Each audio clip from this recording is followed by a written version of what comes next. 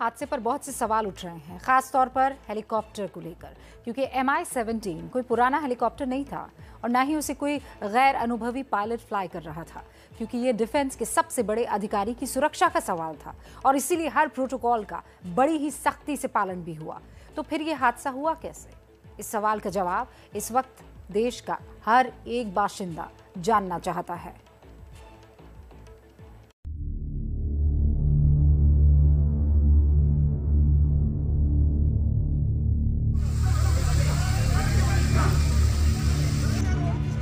एक क्रैश और सब कुछ खत्म।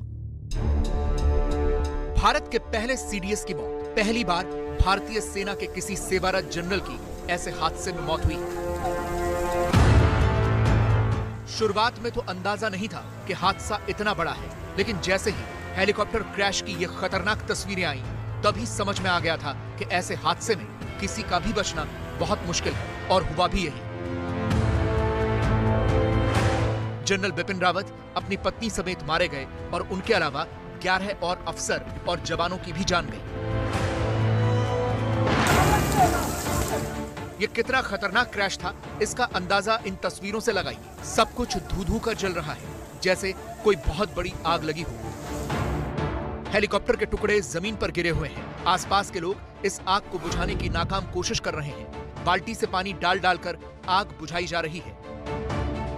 सोचिए कितनी फोर्स से यह हेलीकॉप्टर गिरा होगा। इसने इतने बड़े बड़े पेड़ों के भी छोटे छोटे टुकड़े कर दिए। सीडीएस यानी chief of defence staff general Bipin Rawat को आज कुन्नूर के वेलिंगटन आर्मी सेंटर में एक कार्यक्रम में शामिल होना था। यहाँ उन्हें कैडेट्स के इंटरैक्शन प्रोग्राम में शामिल होना था और इसीलिए उन्होंने सुबह सुबह आज दिल्ली से सेना के विमान में ही उड़ान भरी।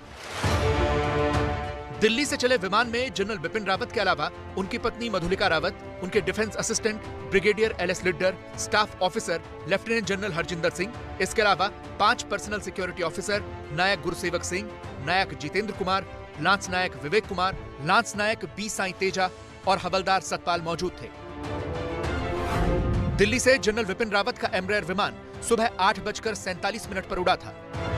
सुबह करीब ग्यारह बजकर चौंतीस मिनट पर विमान सुलूर एयरफोर्स स्टेशन पहुँचा था। उसके बाद ग्यारह बजकर अड़तालीस मिनट पर जनरल रावत और अन्य अधिकारी M I seventeen V five helicopter से वेलिंगटन आर्मी सेंटर के लिए रवाना हुए। बारह बजकर बीस मिनट पर कट्टेरी के नानचापा चाथराम में यह हेलीकॉप्टर क्रैश हुआ। क्रैश की जगह से वेलिंगटन आर्मी सेंटर सिर्फ़ 16 किलोमीटर दूर था। सिर्फ़ पाँच मिनट में ही हेलीकॉप्टर वेलिंगटन पहुँच जाता, लेकिन उससे पहले ही यह क्रैश हो गया। तमिलनाडु के सुलूर में भारतीय वायुसेना का एयरबेस है।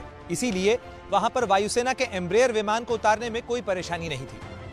लेकिन वेलिंगटन, जहाँ डिफेंस सर्विसेज़ स्टाफ कॉलेज है, वहाँ एम्ब्रेयर जैसा बड़ा विमान नहीं उतर सकता। यही वजह थी कि सीडीएस जनरल बिपिन रावत और उनकी टीम ने वेलिंगटन जाने के लिए वायुसेना के M I seventeen V five helicopter का सहारा लिया। हेलीकॉप्टर में कुल चौदह लोग सवार थे। जनरल रावत समेत नौ लोग तो विमान से आए थे। इसके अलावा वायुसेना के दो पायलट थे, एक ग्रुप कैप्टन, एक फ़्लाइट इंजीनियर और एक फ़्लाइट गनर भी मौजूद थे, जिसमें सिर्फ़ ग्रुप कैप्टन वरुण सिंह ही बचे हैं। पर सवाल यह है कि सिर्फ़ पाँच मिनट की दूरी जब बची थी, दुर्घटनाग्रस्त कैसे हो गए क्या इसकी वजह खराब मौसम थी? ये क्रैश के कुछ देर बाद की तस्वीरें हैं, जिसमें साफ़ दिख रहा है कि कुन्नूर की पहाड़ियों में धुंध है, मौसम खराब दिख रहा है। इन्हीं चाय के बागानों के बीच ये हेलीकॉप्टर क्रैश हुआ। ये जो एयरक्राफ्ट है, ये जो हेलीकॉप्टर है, ये हेलीकॉप्टर, वीआईपी हेलीकॉप्टर है। और अत्यंत टेक्नोलॉजी इसकी बहुत बढ़िया है, उम्दा टेक्नोलॉजी है। अलग अलग विषयों पर इसकी चर्चा तो हो रही है कि ये एयरक्रैश कैसे हुआ, लेकिन विजिबिलिटी ये मुझे लगता है कि एक एक हद कारण उसमें से हो सकता है। टेक्निकल जो प्रॉब्लम्स हो सकते हैं, उसके लिए तो भारतीय वायुसेना ने इंक्वायरी सेटअप की हुई है। ये जानकारी हमें बाद में मिलेगी। जानकारी के मुताबिक बी सेवनटीन हेलीकॉप्टर किसी भी मौसम में उड़ान भरने में सक्षम है।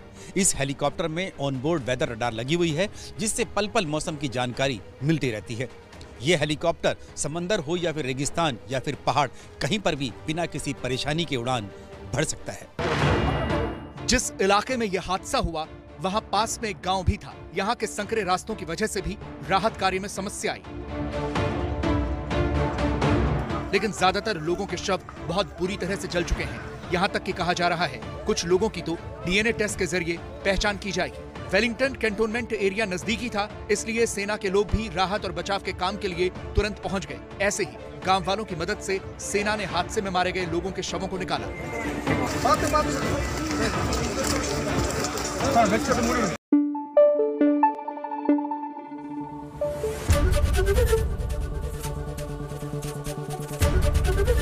एबीपी न्यूज़, आपको रखे आगे।